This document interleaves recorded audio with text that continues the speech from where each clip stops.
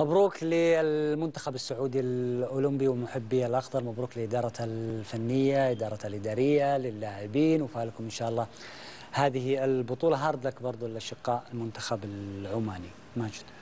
أول شيء نقول مبروك للوطن. انتصار مهم. من خلال هذه البطولات ومن خلال هذه المشاركات تستطيع أن تبني وتقدم للمنتخب الأول عنصر من الممكن أن يكون أساسي ويصل إلى مرحلة ال super star ويفرق مع هارفي في المراحل القادمة ما بعد كأس العالم. اللي أنا متأكد منه أن المدرب الفرنسي كان يشاهد المباراة اليوم ويركز ويدون على أساس أنه هذا المنتخب اللي بني مع الكادر الفني الوطني الكبير سعد الشهري إنه هو النواة الحقيقية لبناء منتخب أخضر خاصة إذا ركزنا وعملنا فوكس عدد من اللاعبين في المنتخب الأخضر ومن بينهم القائد سلمان فرج يصل عمره إلى 34 بالتأكيد سيكون المونديال الدوحة هو المونديال الأخير له.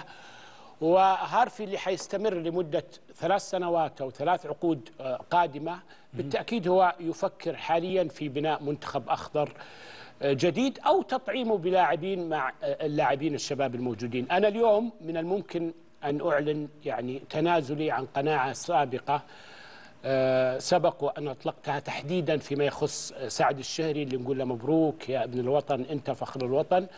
يعني سبق وأن أعلنت مع وجود في مراحل سابقة بأنه لا يوجد عندي أي قناعة بأنه هناك أي مدرب وطني يستحق أن يكون موجود في دوري المحترفين. اليوم مع سعد ومن خلال مشوار طويل ومتابعة طويلة أغير قناعتي هذه وأقول أنه خاصة أنه سعد سبق وأن خاض تجربة مع نادي الاتفاق كفريق أول وقدم ذيك الأيام نتائج جدا مقبولة. لذلك غير قناعتي وما فيها شيء الواحد يغير قناعته. واقول إنه سعد قدم منتخب جميل. على مسيرة مو على مباراة بس. لا لا لا على مسيرة كاملة. تابعتها من خلال مسيرة كاملة ومن خلال مشوار مع المنتخب الأولمبي والمنتخبات السنية الأخرى اللي اللي قاد فيها.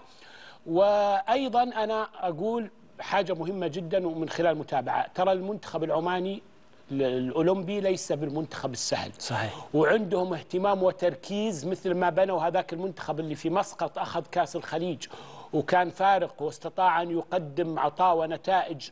يعني حصوله على كأس الخليج في ذاك الوقت ما كان مفاجأة بقيادة كابتن علي الحبسي. وعدد من النجوم اللي بعد كأس الخليج احترفوا أيضا في الدوري السعودي. هم يهتمون الآن في القطاعات السنية وقاعدين يسوون شغل. مبروك للأخضر وإن شاء الله القادم أجمل. بإذن الله.